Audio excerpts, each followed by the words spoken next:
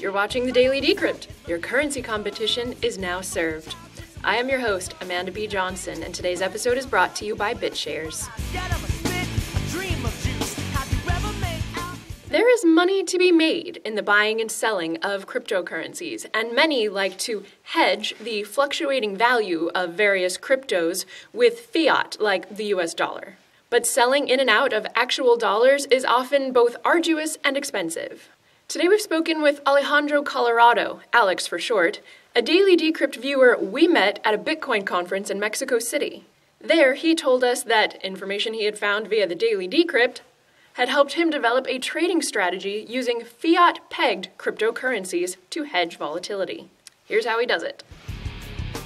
I'm not like a serious, like a long experienced trader, Wall Street guy that just found like altcoins being the new the new rush. Uh, and but at the same time, it's not really that hard to understand. Like, well, the market goes up, Bitcoin goes up, somewhere something will go down, and you can actually buy in, and when it goes back up, you will make money.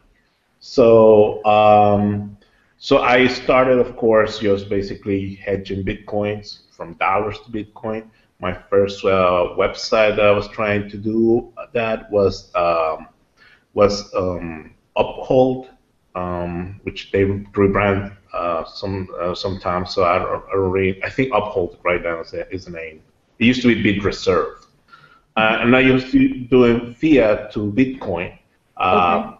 Later, I found other markets like the gold market, in which case there's another website about Toro, and I was doing hedging. But it, was always like this thing, like, well, I'm going jumping in and out of crypto, and it would be great. And I get the feeling that the the, the commissions uh, were too high. So because well, you have to, you know, you're, you're getting into a fiat currency uh, that needs to be backed up somehow officially, and and the whole thing looks complex. And it would be great if we can just do it crypto to crypto, because mm-hmm. I only I'm only interested on the on the value, on the on the valuation of the of the of the coin. So um, when I when I learned about Bitcoin, thanks uh, Nubits, thanks to you, uh, I was like, well, this might be uh, a great thing. Uh, and, and, I, and, let me say for anybody who doesn't know, uh, Nubits, the, the currency you're talking about that you learned about on the Daily Decrypt, is a crypto which is always worth the value of one US dollar. Okay, please continue. Exactly, exactly. And um, well, so I was like, well, we can I can just do the same thing that I was doing with dollars. In this case, I, I will do it with uh with Nubits. So my first my first experience was in Bittrex, which is a, a an altcoin exchange, and I was I saw that Nubits was listed on, on the Bittrex. Uh, um, so I just started buying Nubits back and forth. Actually, that worked. The the the the, the, um, the valuation was pretty good. Um, the only big thing was that it was centralized. Uh, so I have to give my money to the exchange, and then I have to do my exchange there. And I was uh, really interested in these decentralized markets and, or decentralized exchanges. And, however, right now at the moment, I only see um, different strategies that I'm trying to pursue later as I learn more about the exchange, how they work. I'm not really pursuing that at the moment. The only alternative I found was uh, Shapeshift. Mm-hmm. Uh, Shapeshift uh, do provide me to have my wallets on my desktop on my mobile uh, and just basically shuffle my coins between Nubits and Bitcoin every time I see fit. Mm-hmm. Uh, the only gotcha though is that you really need to pay attention to the valuation that Nubit uh, Shapeshift is giving you for those coins. Mm-hmm. I have a little script that I wrote um, uh, on the side that will just basically tell me how much is Shapeshift giving me versus what Bittrex will give me so I can make a decision where is the best place to do the exchange. Uh, and that usually works for me. Um, I also, I mean, this is just one way that I trade. I really are interested in the Nubits community in the sense that they have um, they have a whole structure that they're going forward with that you can not only um, hedge between the U.S. dollar and, and Bitcoin, but in the future you will be able to hedge between other currencies. So you will have a Nubits USD and you will have a, a, a new Nubits uh, CYN for, for yuan, and, and, the same thing for other currencies, the euros, the yens, etc. Mm-hmm. So I'm really excited about this new roadmap that, that, that the community is, making for Nubits, and it's a good alternative for it. Um, so that's basically what, what I've been doing with Nubits at this time. And uh, I think is uh, what I was saying is that there are other markets uh, such as um, the asset exchange the NXT Asset Exchange is an exchange within the protocol. It works similar to the stock exchange. Uh, you can issue companies can issue assets, and they can people can buy them and trade them. And in this sort of way, they did what um, what Nubits did, but within their own uh, market. So what they did is basically create an NXT USD, which is pegged to the US dollar, and then you can trade like if it was a between NXTs and, and US dollars. Uh, since I'm not a big holder of NXTs, I'm really not doing that, but it's like something I want to look into it. Also provides me the advantages of giving me better rates, mm-hmm. uh, lower cost of trade. So those are things that I'm looking into it. Uh, there's also other alternatives like uh, uh, BitShare, I think, is doing something mm-hmm. similar. Uh, yeah. They have some assets on BTC and similar yeah. things. It's interesting that you bring that up, uh, that your main trading pair has been dollars and Bitcoin, because there's a liquidity event coming up, I'm told, by the BitShares community on the 29th, which I believe is this coming Monday. And uh, the people will be focusing on the trading pair between BIT USD and BIT BTC. So um, that might also be up your alley. And and like NXT, BitShares has a decentralized exchange, decentralized exchange built onto their protocol level as well, so you can keep your private keys while trading. Yeah, that sounds great. Yeah. yeah. Okay. So it's definitely it's definitely an opportunity to to to, to give this. But the, like you, like I told you, different ways of doing this this, mm-hmm. this trading besides just mm-hmm. doing currency uh, fiat to to crypto. Now you can see that there's these these uh, opportunities are exploding all over the altcoin universe. Not only Nubits, but BitShares, but NXT, and now you have a different uh, micro universe of opportunities to trade. Mm-hmm. Uh, I wanted to ask you, uh, since you found profitability trading in this way, do are you like, do you have any like programs set up online that will like automatically buy or sell for you if a certain price point is reached? Or is this just something that you as the human like pay attention to during your waking hours and you execute the trades? Well yes i, I am a, a, developer and i i actually know of different um, trading bots trading uh, bots right are in a, a marketplace for trading bots um, I don't remember the, the I think it's Trade TradeView or Trade something. I'm not really sure about the name, but if you Google trading bots marketplace, mm-hmm. you will find it definitely. Uh, however, sometimes it's so I, I, I, just want to write it myself in the sense of like I know what is this bot is getting. A friend of mine also tests some of this. He loses some money on it, so we kind of like okay until I don't understand how the bot works, I'd rather just build it myself. So have you written any trade bots? Yes, yes, yes, I have. Um, okay. I have done some backtrace. So, for example, when I test the market, I can be, I can test my strategy. Uh, if I, if the bot would have alert me or execute a trade on these uh, signals, then I will be able to have make or lost X amount of money on. And what? Okay. And what exchanges do you find that the bots that you've written work on? Well, I did that for my wallet, so it will work directly. I mean, it will execute the trade from my wallet on my desktop.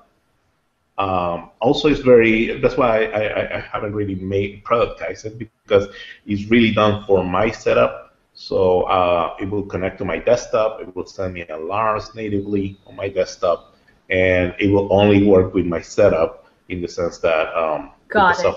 app, I use KDE on Linux, so it will connect to KDE and, and give me a, a, native signal. But once I, I, I, I, this is also because I'm testing it. Once I, Mm-hmm. I think this is going to be good, then I can start going into more uh, open markets like blockchain, like Coinbase, what, what people usually use for, for their bitcoins, and then they will be able to do it either from their wallets or uh, tag it to a, to a, to an exchange like Bittrex Mhm. or, or Kraken.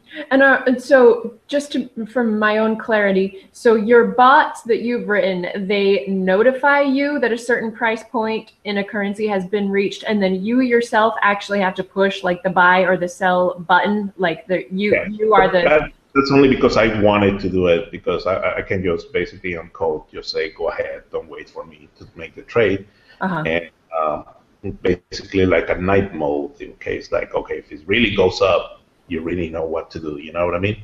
So Okay. you, up the threshold. actually, it'll wake you up. Like you have it set to like actually be an alarm, so that if a price Yeah. is hit that you want while you're sleeping, it'll wake you up. Exactly. It will either wake you up or do the trade like, oh, this signal goes, if it goes through uh, some percentage above, just do the trade. Don't wait for me. Just you can beat me, and if it keeps going up or keeps going down, Mhm. just execute the trade. Um, have you found that there are any exchanges? I mean, do exchanges like let people set like automatic buy and sell orders that will execute for them while they're sleeping? And if so, which ones do that? Changes, even like the wallets, like blockchain, uh, their API on blockchain, you can say send all to any other account.